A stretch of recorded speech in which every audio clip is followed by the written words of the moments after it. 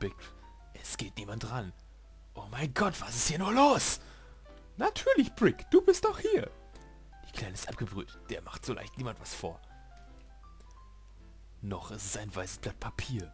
Aber in dieser lausigen Stadt würde es bald die dreckigsten Gemeinheiten aufnehmen. Nüchtern, gefühllos, präzise. So wie ich. Nun gut, nicht zwingend nüchtern. Oh, Brick, heirate mich! Und dann, Effi, noch bist du jung und strahlend schön und deine Freude meiner Augen.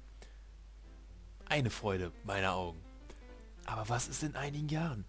Dann wirst auch du alt und unansehnlich. Verzeih, Brick, ich bin so dumm. Vergeben und vergessen, Kleines. Die Kleine glaubt wirklich, diese Pflanze verwelke nicht genauso wie alle anderen davor. Aber sie muss endlich hart werden. Hart! Es ist nur zu ihrem Besten. Ich mische doch schon seit Jahren Rattengift in den Dünger, damit sie endlich ihre Reaktion lernt. Ja, ich mische auch ständig Rattengift irgendwo rein.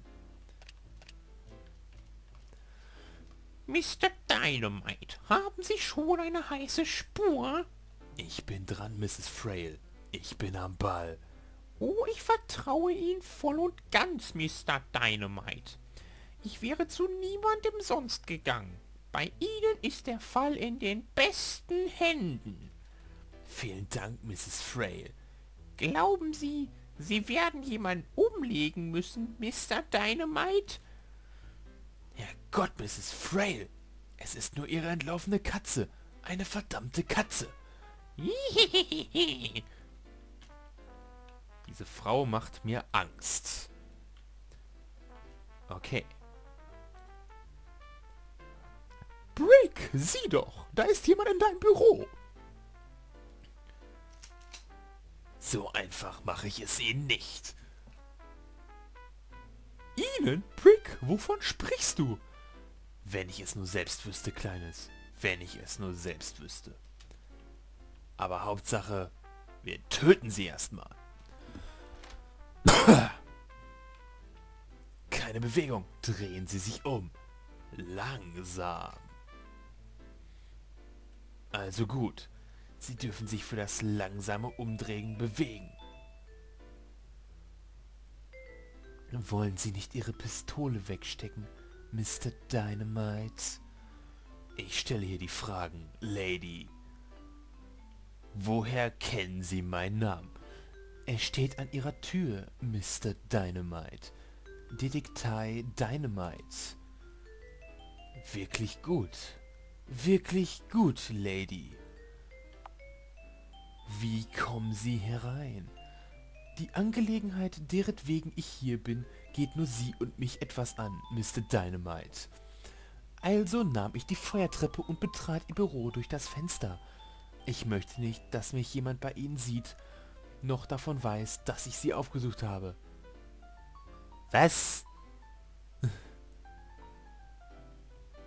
Mr. Dynamite? Ein Moment, ich muss das sortieren. Feuertreppe, Fenster. In Ordnung, Lady, das ergibt Sinn. Wer sind Sie? Ich möchte, dass Sie einen Fall übernehmen, Mr. Dynamite. Eine Klientin also. Warum sagen Sie das nicht gleich? Nehmen Sie Platz, Lady. Wie Sie wollen. Also, worum geht's, Lady? Es geht um meinen Mann, Mr. Dynamite. Ihr Mann heißt ebenfalls Mr. Dynamite, Lady? Nein, er heißt Radley. Radcliffe Van Weirdly. Weirdly. Und ich bin seine Frau, Susan Van Weirdly. Lassen Sie die albernen Spielchen, Lady. Susan Van Weirdly. Ha! Sie hätten sich ebenso gut Mrs. Wanderly nennen können. Und nun Ihren richtigen Namen, Lady. Oh, Mr. Dynamite, warum sind Sie so hart? Ihren Namen. Ja, ja, Sie hatten recht. Ich habe Ihnen etwas vormachen wollen. Ich heiße nicht Susan, sondern Tessa Van Weirdly. Sind Sie nun zufrieden? Befriedigt, Miss Van Weirdly. Mein Mann. Wir sind seit Jahren. Es ist so, dass... Ach, es ist doch schrecklich kompliziert. Seit wann haben Sie ihn im Verdacht, dass Sie betrügt, Mrs. Van Weirdly? Ich. Ich bin mir nicht sicher. Er ist in letzter Zeit so eigenartig geworden. Er hat Geheimnisse vor mir, Mr. Dynamite. Er weicht mir aus. Er lügt. Er geht abends lange weg. Er spielt Schach. Er, er, er trinkt Bier. Und, oh mein Gott, er geht bowlen. Es ist ganz gewiss eine andere Frau. Oh, Radcliffe. Warum nur Radcliffe? Warum? Mein Name ist nicht Radcliffe, Mrs. Van Weerley. Mr. Dynamite? Richtig, Mrs. Van Weerley. Da stand sie also in meinem Büro, sichtlich verwirrt, aber unzweifelhaft attraktiv. Sie trug ein geschmackvolles Kostüm, wirkte trotz aller Unsicherheit kultiviert und hatte volle Brüste. Oh ja, volle Brüste. Das ist wichtig. Sehen Sie mir ins Gesicht, wenn Sie über mich nachdenken, Mr. Dynamite. Sie hatte was, keine Frage. Aber was rede ich? Es ist Moloch City. Nimm das Geld, erlege den Job und vergiss sie. Ich war wieder ich, doch plötzlich... Ein Schuss, Mr. Dynamite! Jemand schießt auf uns! Zum Glück nicht besonders gut. Er schießt durch das offene Fenster. Was sollen wir nur tun? Es kommt noch so weit, dass jemand verletzt wird. Sie können nicht einfach unangemeldet Mr. Dynamites Büro. Und ob ich das kann. Mein Fall ist äußerst dringend und ich muss Mr. Dynamite auf der Stelle sprechen. Es geht um Leben und Tod. Mr. Dynamite, es ist wie folgt. Verdammt, das waren sicher für 50 Scheine gut. Nick? Nick Cold? Bricks alter Partner? Was machen Sie denn hier? Brick, Brick, wir müssen raiden. Ich wollte nicht, dass die Dinge so zu Ende gehen. Es war damals eine schwierige Zeit, aber du solltest wissen... Das war dein Problem, Nick. Du hast die Dinge nie zu Ende geführt, die du begonnen hast. Oh, wie grauenvoll, Mr. Dynamite. Hört es denn nie auf? Wir sind in Moloch City, Lady. Es geht immer weiter. Immer weiter. Oh mein Gott, es ist Captain Kirk. Namenloser Raumschiffsbootsmann. Hurra, mein erster Außeneinsatz. Endlich raus aus dem Schatten der Anonymität. Tod und Verbrechen um einen herum, wo man in dieser Stadt auch guckt. Man ist so hilflos. Nicht ganz hilflos, Mrs. Van Weerley. Bäm! Erwischt. Aber dort kommen noch zwei Geigenvögel heran. Sie rennen ins Haus. Bleiben Sie in meinem Büro, ich kümmere mich um die Salunken. Oh, ja. Aber erst werden wir speichern. Denn wir sind der Held, wir können das. Kann ich noch Neues untersuchen? Hm, Musik, die ich nicht höre, weil es so leise ist. Oh mein Gott, das geht echt auf die Stimme. Das übliche Sonnenscheinprogramm. Hm. Bleiben Sie in meinem Büro, ich kümmere mich um die Salunken.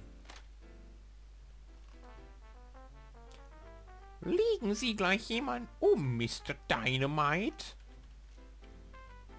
Oh, Brick, pass bitte auf dich auf.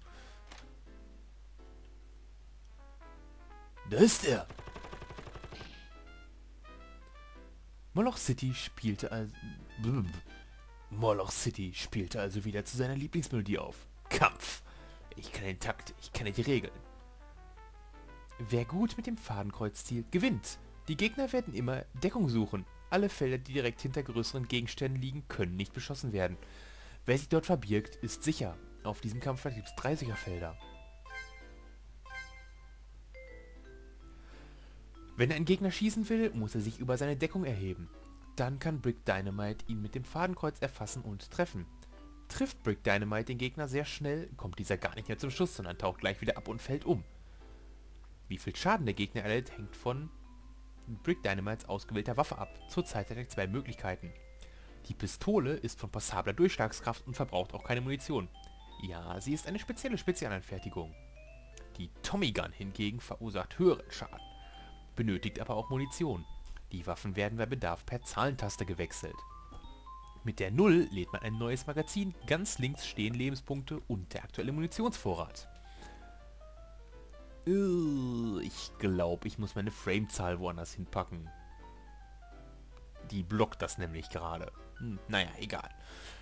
Sinkt Brick Dynamites Lebensenergie auf Null, hat er verloren. Mit Whisky und Zigaretten kann er sich nach dem Kampf wiederherstellen. Denn Zigaretten und Whisky sind die wahren Nahrungsmittel eines Mannes.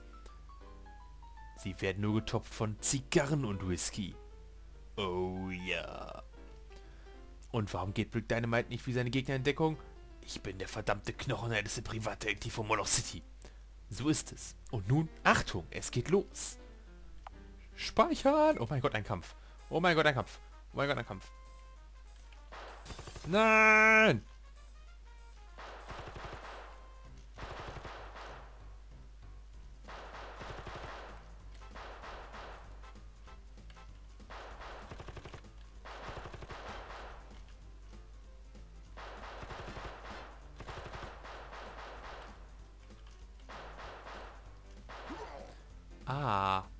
Okay, ich bin tot. Ähm, ja. Verloren. Das machen wir natürlich normal, dass das wir nicht auf uns sitzen.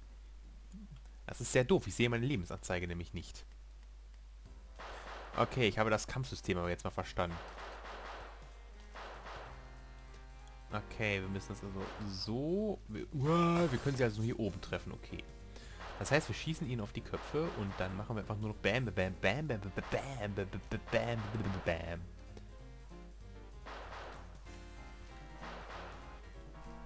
Ja, die Steuerung ist etwas sehr schnell, aber dann gewöhne ich mich mit Sicherheit auch noch.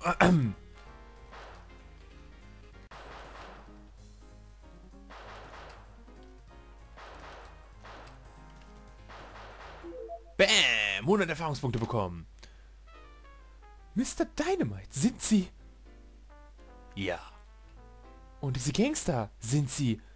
Sie sind es. Alle beide. Und gleich würden Sie mich fragen, was Sie mich alle fragten. Doch in dieser lausigen Stadt konnte es darauf nur eine Antwort geben. Vergessen Sie, Lady, ich werde Sie nicht küssen. Geben Sie Ihrer Enttäuschung den Ausdruck, den Sie wünschen. Es ändert doch nichts.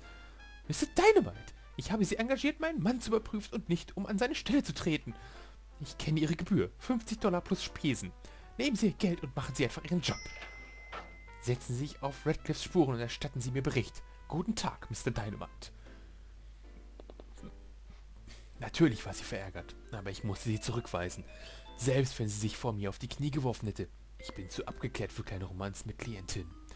Radcliffe Van Weirley, das zählte. Er war der Fall. Ihn musste ich im Auge behalten. Hatte er eine heimliche Affäre? Nichts Ungewöhnliches in der Stadt der grauen Herzen. Und wer waren die Typen vom Flur? Vielleicht hatten sie etwas bei sich, das mir, das mir nun mehr nützen könnte als ihn. Oh ja, Whisky. Und Magazin. Oh ja, du warst nicht hart genug für Moloch City. Ein Gedeck nach Art von Moloch City. Entzückend. Eine Zigarette. Das war's. Auch ein Zylinderform nützt nichts. Die Welt ist knallhart. Detektei Dynamite. Nichts. Legen Sie gleich jemanden um, Mr. Dynamite. Ja, ich habe jemanden umgelegt. Oh, Brick, bitte pass auf dich auf. Das stand da gar nicht. Aber ich sage es trotzdem. An dieser Stelle werde ich das Let's Play erstmal pausieren. Ich habe drei Scheiben. 100 von 101 XP, ey. Nee. Ja, komm. Wir haben die ersten zwei Gangster getötet, haben das Intro erlebt und sind allgemein einfach nur knallhart. Darum werden wir als knallharter Detektiv unter einem knallharten Deckenventilator, unter einer knallharten Uhr, hinter einem knallharten Sitzsessel nun knallhart speichern und knallhart das Let's Play pausieren. Bis demnächst. Euer Brick Dynamite und euer Masten. Bis die Tage.